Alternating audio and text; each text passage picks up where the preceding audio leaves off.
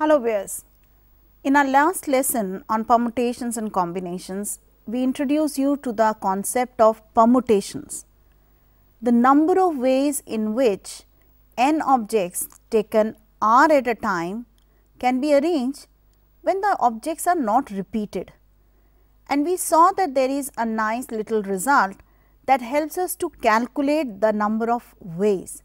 The result said that we have number of permutations of n different objects taken r at a time where r is greater than 0, less than or equal to n and the objects do not repeat to be same as n into n minus 1 into n minus 2 up to n minus r plus 1 denoted by npr and this also can be written as n factorial by n minus r factorial. Using this result, we could talk about the number of ways in which the letters of the word say triangle may be arranged giving rise to words which may not have meaning. And we saw that there were 8 letters and that can be filled in 8 different ways in 8 positions as 8 p 8 that is 8 factorial ways. No other condition, but if you put in a condition of vowels together, consonants together, words starting with T or ending in E or both, we could handle them. But what about the words like mom or India or mathematics? If I have to find the number of words that can be formed with or without meaning using the letters of such words, will the task be different? I think yes. How will this affect our number of calculations? In order to find this permutation, what we have are two simple results. The first one which says that the number of permutations of n objects where p objects are of same kind that is for example, in the word mom you have two m's and the rest are all different then the number of such permutation is same as n factorial by p factorial. Whereas, if there are n objects and there are p 1 objects of one kind, p 2 are of second kind and so on up to say p k are of kth kind and the rest if any are all different kinds, then that number of permutation turns out to be same as n factorial divided by p 1 factorial into p 2 factorial up to p k factorial. Now, what does this result mean and why do I need to follow a different result? Consider this situation. I have three dots say blue, green and red and we are looking at the total number of ways they can be arranged. Then obviously, you are looking at different order in which these three dots can be placed and by the understanding that you have gained from our earlier lesson as well, you know that there are going to be 6 such different ways in which they can be arranged. Now, here all three objects are distinct. Suppose I replace green with red. So, I am looking at now 2 red and 1 blue and I want to figure out what would be the total number of arrangements possible. So, I replace each of these green dots with red. So, do I still have 6 permutations? I do not think so.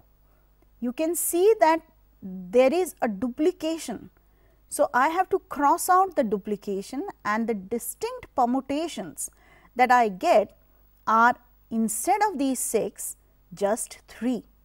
If I use the result that we saw earlier, the number of permutations of n objects where there are p one particular kind was n factorial by p factorial.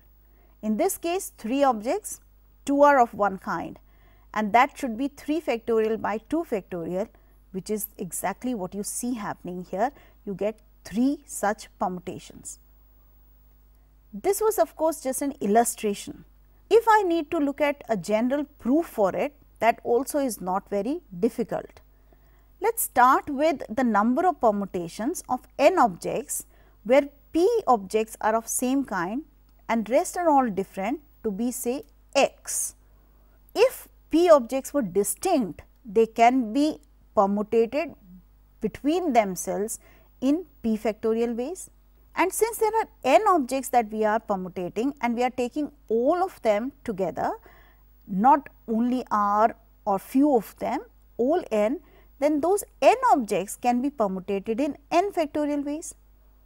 So, let us start with an assumption that there are x ways of permutation of n objects where p objects are of same kind. And in this permutation, if we assume that the p objects were all distinct, then those p objects can be permutated in p factorial ways. Now, we have n objects and they can be permutated in n factorial ways. p objects if they were distinct could be permutated in p factorial. So, putting these information together this n factorial must be equal to x times p factorial which leads to the result that x that is the number of permutations of n objects where p objects are of same kind must be equal to n factorial divided by p factorial. In general, the result also stays good. You may have more than one kind repeated. So, if there are p 1 of one kind, p 2 of second kind, p k of the kth kind and rest of the elements are all distinct, then the total number of arrangement possible is n factorial divided by p 1 factorial into p 2 factorial up to p k factorial. Now, with this result we are ready to deal with situations where there are elements of the same kind appearing and a permutation needs to be figured out. Here is our first problem. The problem says that how many words with or without meaning can be formed using the letters of the word mathematics. So, we are looking at a word which has 11 letters in which there are 2 M's, 2 A's and 2 T's and 5 other distinct letters. So, by the result that we have just discussed, the total number of words with or without meaning that can be formed using the letters of the word mathematics is 11 factorial divided by 2 factorial times 2 factorial times 2 factorial. Now, this is a rather large calculation. So, when you multiply simplify all of these factorials, you would end up with a number as large as this. So, the answer is rather large because you are talking about arrangement of 11 alphabets but it is still lesser than the case where all 11 alphabets were distinct. Let us take another case where the letters are repeated and there is an extra condition in the problem. What does it say? In how many ways can the let way the letters of the word algebra be arranged if part 1 all vowels and all consonants must stay together. Part 2 the relative order of vowels and consonants does not change. So, again looking at the word algebra, we are looking at 7 letters in which there are 3 vowels that is A, A and E, 4 consonants all are distinct. In the first case, we want to figure out the number of ways in which all vowels and all consonants must stay together. That means, we are looking at the group of vowels and within that group the number of arrangements that are possible will be 3 factorial because I have 3 letters A, A and E divided by 2 factorial because there are 2 A's.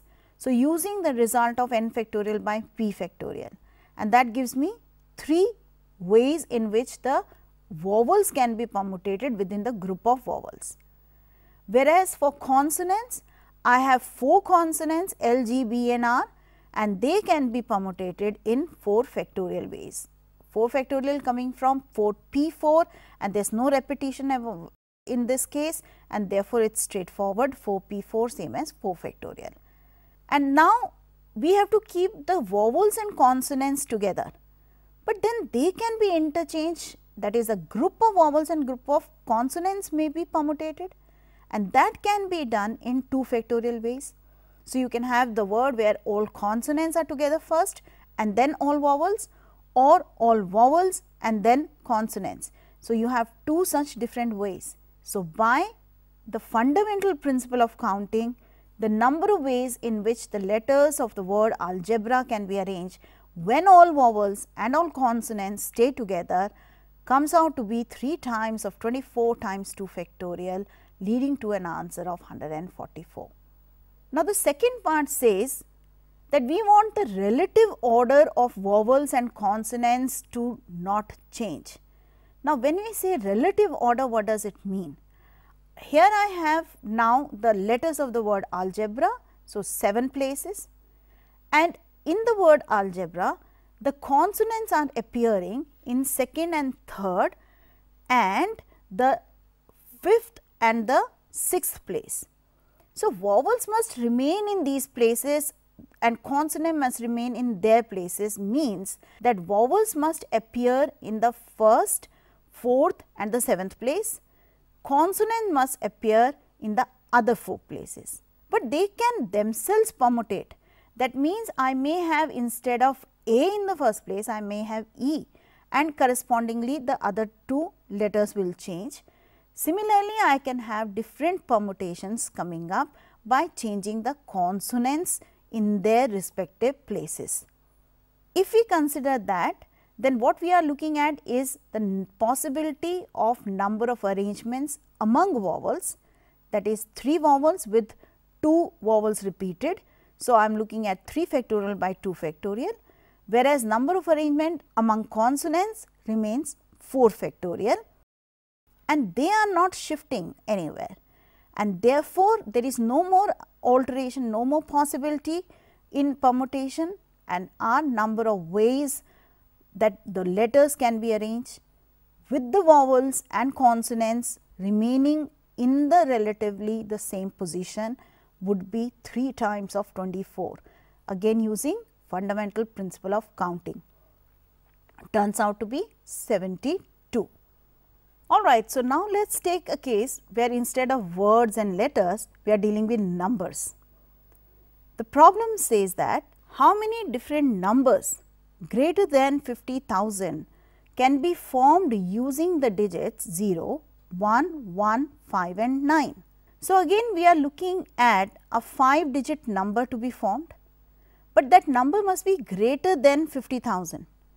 That means, we are looking at a possibility that our first place gets filled up either by 5 or by 9. Now, suppose 5 goes in the first place, then the remaining 4 places can be filled by the remaining numbers that is 0, 1, 1 and 9 in how many ways? Well, we have 4 digits left and in those 4 digits we are looking at 2 repeated, there were 2 ones. So, with 5 in the first place, then total number of such numbers that can be formed will be 4 factorial by 2 factorial. Similarly, when 9 goes in the first place, again you have 2 ones and the other 2 digits are distinct. So, the number of ways that can be done will be 4 factorial by 2 factorial. So, the total number of such numbers that can be formed will be the sum of these two and that is 4 factorial by 2 factorial plus 4 factorial by 2 factorial which is same as 24.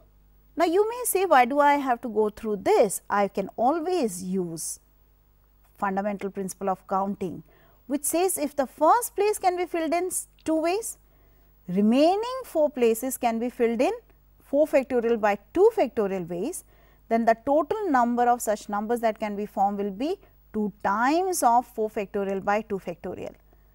That is exactly what you may do, perfectly fine to follow up with that method. Let us begin with another interesting problem.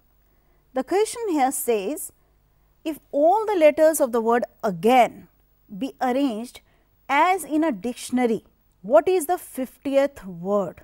So, again dictionary is nothing but collection of words which are formed and they are written in a manner in which there is an order, the alphabetical order. So, here we are looking at the word again and we are talking about alphabetical order to be followed.